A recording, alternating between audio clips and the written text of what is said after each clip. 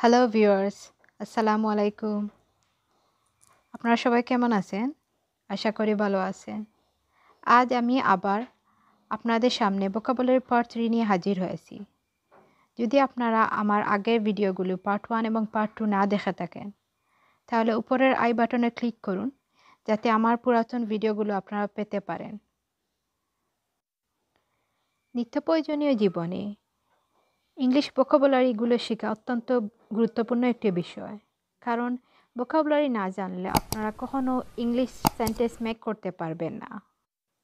আর আজ আমি আপনাদের সামনে ফার্নিচার ভোকাবুলারি নিয়ে আলোচনা করব।